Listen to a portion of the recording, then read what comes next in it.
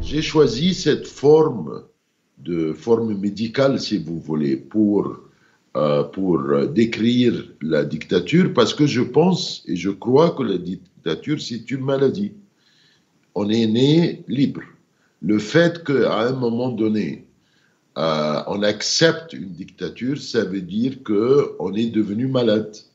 Et si j'ai utilisé, comme j'écris dans le livre, euh, un grand sociologue français qui s'appelle Étienne de la Boissier, euh, qui a fait euh, du XVIe siècle, qui a fait un livre magnifique qui s'appelle Le discours de la servitude volontaire.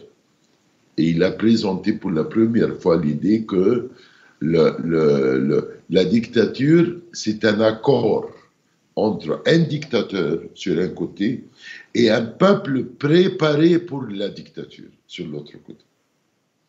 Ça commence toujours quand on, on, on, pense qu'on a besoin de quelqu'un pour nous protéger. Euh, vous voyez, c'est comme ça que ça a commencé, par exemple, euh, euh, en Allemagne avec le nazisme, en Italie avec le fascisme, les gens, à un moment donné, ils, ils, se, sont, ils se sentaient en danger, ils pensaient qu'il y a, on attend un héros pour nous protéger. Ça, vraiment, c'est le sentiment le plus dangereux. Vous voyez Et c'est pour cela que j'ai écrit ce livre, parce que je pense que cet esprit de la dictature, euh, n'existe pas seulement dans les dictatures, ça existe dans les démocraties aussi. Vous voyez C'est qu'il y a parmi les, les, gens dans un pays démocratique, il y a des gens qui euh, ont les symptômes. Vous voyez C'est qu'ils pensent que euh, on est en danger à cause des émigrés, on est en danger à cause de je sais pas quoi. Il y a, j'ai décrit comment le, le dictateur il utilise toujours le, la théorie de complot, qu'il y a des ennemis et vous voyez, les ennemis vont venir pour nous détruire, alors euh, protège-nous, euh, monsieur le dictateur, vous voyez. Et, ça existe maintenant, ça existe et les gens votent pour, même dans les démocraties, pour des, des, personnes qui ont des tendances de dictature, et on le sait très bien, pour sentir protégés par le héros. Et je trouve ça vraiment très dangereux. J'ai décidé dès le commencement d'utiliser euh, l'Égypte comme modèle, mais aussi de trouver euh, des exemples de dictature de partout. Alors, dans le livre, vous allez, euh, vous allez trouver des, dictatures de l'Afrique, de l'Amérique latine, du monde arabe.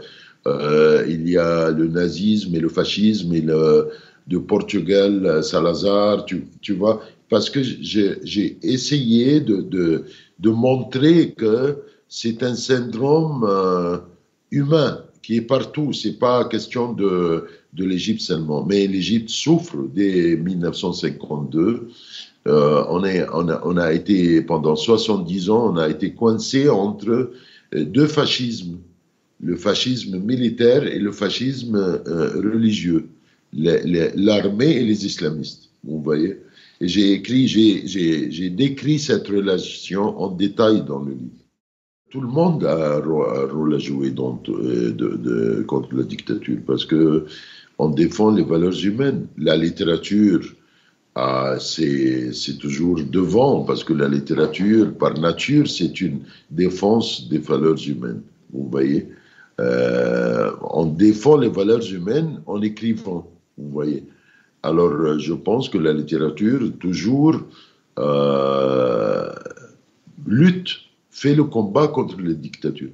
Et, il me paraît très intéressant euh, qu'un dictateur qui a, qui, a déjà monopolisé le pouvoir, il a tout à la main, il a l'armée, la police, les médias, il a tout, mais il a peur d'un roman.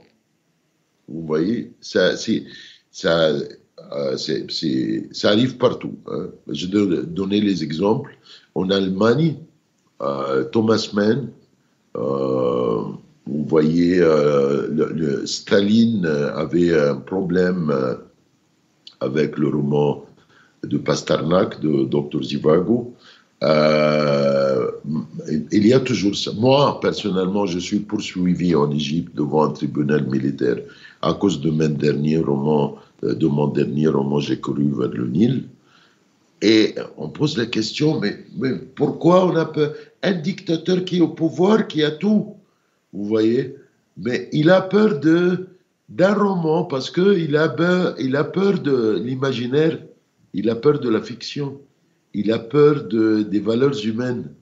On peut euh, arrêter tout le monde, mais on ne peut pas arrêter euh, l'imagination. On ne peut pas l'arrêter. C'est le problème d'un dictateur.